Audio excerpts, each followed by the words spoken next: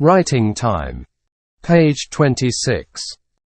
I like living in my town because it is a calm, neat place and people are friendly.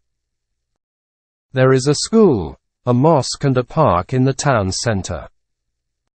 You can find a big market too.